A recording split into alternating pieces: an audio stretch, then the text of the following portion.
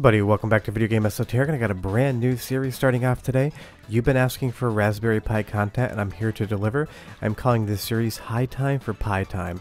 I know it's a little bit stupid, but it's also really fun.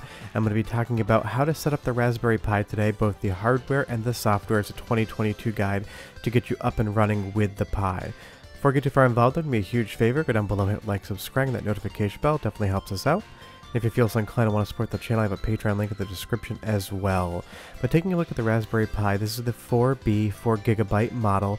It's a very, very, very small board, but what it can do is absolutely exceptional. And it has all these different ports, and we'll go over them a little bit more in depth in the video later. But the one thing you need to realize is the micro SD card slot is on the bottom. That can confuse some people every once in a while, especially when it's in a case, but that's what you're going to be dealing with. And you insert it just as so, because it doesn't have a directionality to it, and these things can go both ways.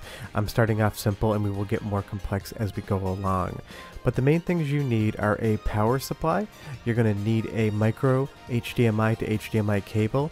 I have a switch that allows you to manually control the power as well. This is a CanaKit kit. I'll link it below. It's not an affiliate link. And a micro SD card reader. But the first thing we need to do is decide what we're going to put on the Raspberry Pi itself because there are multiple options for what operating system or front end you want your games to be playing in. There's something like RetroPie, you can do Lakka. This is subjective, but what I'm going to do for this tutorial is use RetroPie. I feel like that's the most commonly used Raspberry Pi operating system for retro gaming. I see it probably 9 out of every 10 builds, so that is what I'm going to be showing you guys how to do. So before we actually build the Pi, let's get the SD card setup made, and we'll see here on the download page there's pre-made images, and you're going to download them based upon what Pi model you have. This is the Raspberry Pi 4, so that's what I am using. Use what you need. Most people, if you're buying new, you're definitely going to want to get a 4. The installation is relatively straightforward. If you can copy files from one folder to another, you should be fine. You need to flash the image that we're going to download to the SD card. I always use Win32 Disk Imager. It's my preferred method, and that's what I'm going to be teaching you guys here. But all we need to do is take that zip file and uncompress it so we can get the image file out. If you know how to use Windows, you definitely are able to open up a zip file. If you're on Mac, it's very similar, but this is a Windows specific tutorial. You'll see as this folder opens up here, we're going to have the image that we need to pop onto that micro SD card. It takes about 5-6 seconds. That was in real time. Now, warning with Win32 Disk Imager, the drive ID is crucial. We are flashing an image to a drive. You can screw up and put this image on the wrong drive, and you can see I have a lot of them connected to my computer. Double check, triple check, quadruple check go ahead and pick that Raspberry Pi image we just decompressed and we're going to go ahead and click write. It's going to ask you one more time if you want to do this. Make sure the letters match on your USB drive. I cannot stress this enough and then it's going to flash the image. This takes in real time about 3 to 4 minutes, but of course through the magic of editing I'm going to go speed it up. And now we have flashed that image to the micro SD card and we're ready to pop it into the Pi and make the operating system start running. You'll see here all those files that we need are there. So we can go ahead and take that micro SD card out of our computer and slot it back into the Pi and it would be ready to run from here. But we're going to build the entire system because we're not quite ready yet. The first thing that comes in that CanaKit, or if you're picking parts yourself, what you want to do is pop some heat sinks on the chips. Now this is a very small board, but we still need to deal with heat dissipation. So you'll see we have three heat sinks and three chips to put them on. That small one goes on the VLI chip, not the higher up chip. They're very similar sized, but this is what it's intended to do. Now best of luck peeling the little adhesive tab off. It took me forever, I did it off camera, maybe your fingernails are better than mine, but once you have that off, we're just going to go ahead and try to best we can, and it is hard on camera, to center that heatsink on top of the main processor. Go ahead and push down a little bit to make sure it sticks, but not too much, and go ahead and pop the other heat sinks on the appropriate chips as well. You don't have to match the fin direction, honestly, on two of the three chips. I just do it because I like the look of it, and you'll see I got it relatively centered. Now we need to deal with a fan. If you orient the board like this, you're going to see the letters J8. That is our orientation. And if we count in the pins, the second and third pin on the top are going to be 5 volt and ground. 5 volts are power, ground is ground. If we go to that second row in the bottom, the furthest to the left pin is 3.3 volts, which would cause the fan to run a little slower. I'm going to use 5 volt, and on the fan in the kit, Red is the voltage, black is ground. That's almost always consistent across anything. We popped the 5 volt red line into the second pin from the top on the left and ground into the third pin. That is going to allow this fan to run when there's power delivered to the Raspberry Pi. Make sure you're doing this correctly. I will put up a link with a diagram to the pinout as well, but on the top of the board, orienting with J8, that's how you do it. Now taking a tour around the device itself, we have two USB 2.0 ports, two USB 3.0 ports, and on this end we also have an Ethernet adapter. Those are all going to be very important, we'll go over them later. On the side of the board with all the other ports, we have USB-C power delivery in, and no, those are not micro SD ports, or sorry, micro USB ports next to it. Those are HDMIs. We're going to use the leftmost HDMI to get signal out, and we also have a headphone jack as well. And on this end here, obviously we have that micro SD card. But that's kind of a tour around the physical properties of the Raspberry Pi 4 but I definitely also recommend putting this in a case. Now this CanaKit case is the cheapest plastic thing ever made, but it is functional, it is cheap, so why not just use it because electrostatic discharge can be an issue and the Raspberry Pi 4 is a bare board. So this case here, I'll just show you how to put it together really quickly. It is dumb easy. If you buy a different case, it's going to be different, but based upon the fact that this tutorial has a link to a certain amount of parts that you're going to use to make this, I will talk about this now. It pops apart in three different areas and you have that micro SD card.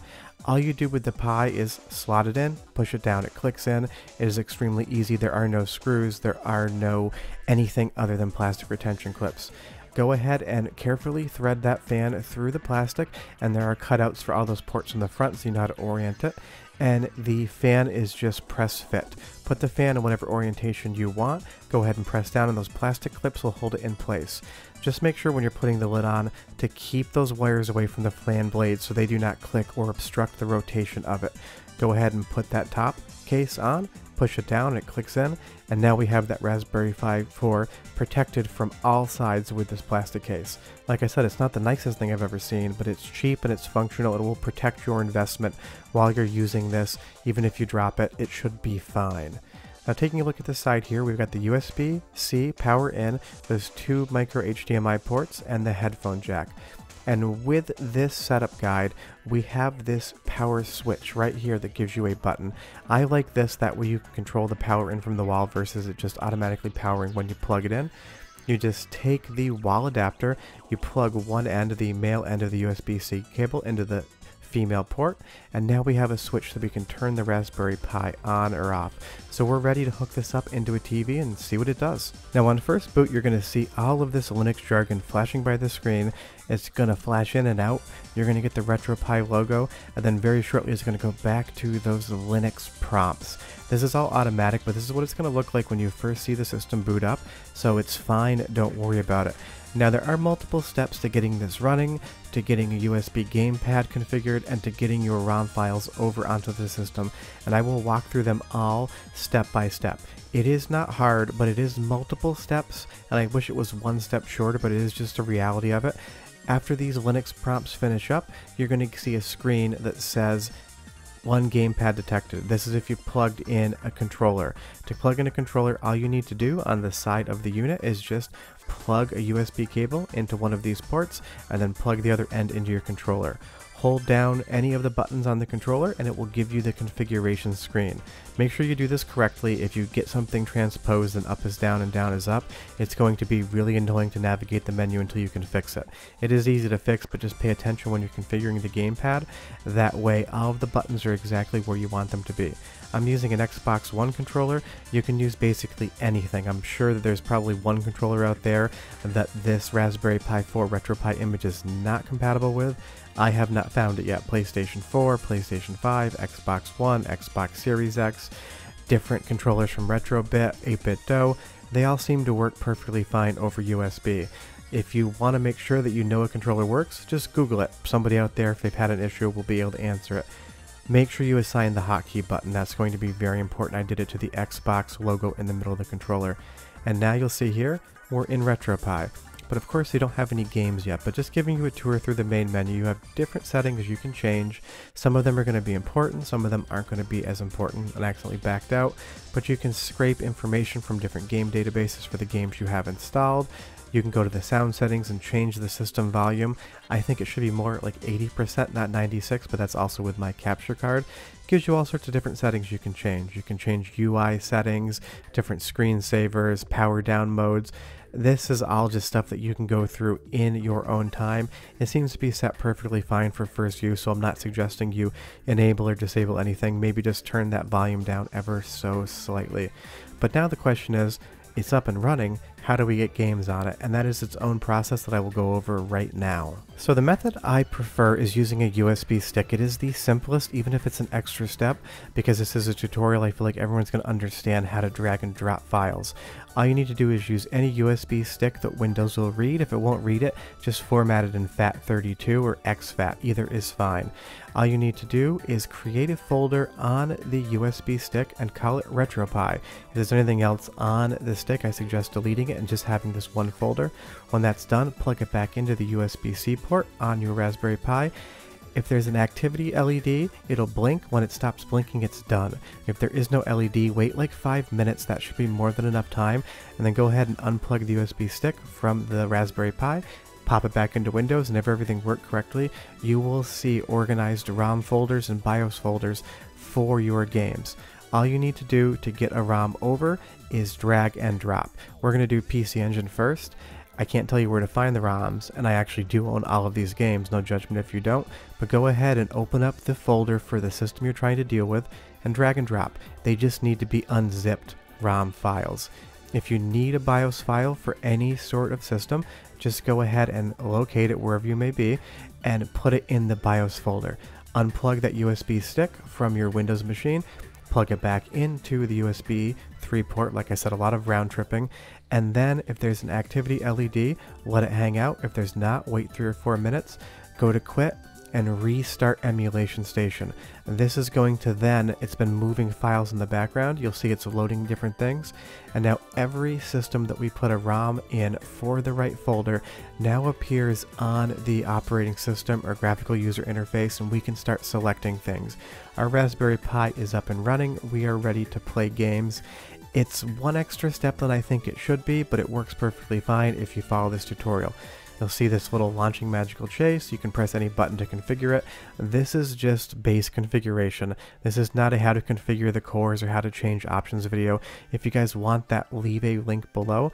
But you will see right here, we're going to be playing Magical Chase on the Raspberry Pi with the PC Engine core. And it's a ton of fun. And so far my experience with playing games has been quite positive. You will see this is the size of the image spitting out. There's different scaling options and I will go over those in later videos if people want me to. Like I said, leave me a comment down below. But through the magic of video editing, I can scale this in Resolve. If there's any shimmering, this is because I'm not scaling it on the Pi, I'm doing it in post-production. But everything's playing exactly how I would expect this game to play. It feels similar to playing on a PC engine, and that's great. Now, like I said, when you do that hotkey assignment at the beginning, hold down the hotkey and then press start and select at the same time. It'll bring you back to the main menu and then you can change to play whatever system you have ROMs installed for. My one thing is that the volume is a little high. Go ahead and listen for like 35-45 seconds and see what I mean. That just means you need to change the volume in the main settings if that's the case. But enjoy some of the soundtrack on Metroid Prime, and then we'll go right into Pocky and Rocky. And this is not Metroid Prime, it's Metroid Zero Mission. I'm an idiot.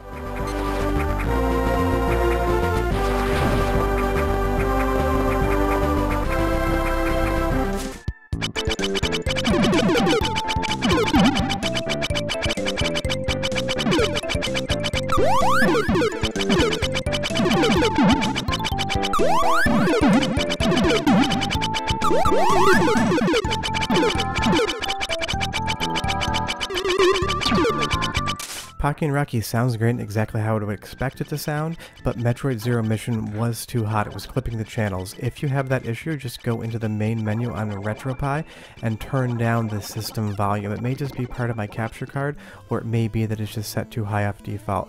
But I will say, at least from a very non-scientific lag testing standpoint, Punch Out feels perfectly fine. I'm able to dodge even if it is just Glass Joe, so that is a good sign.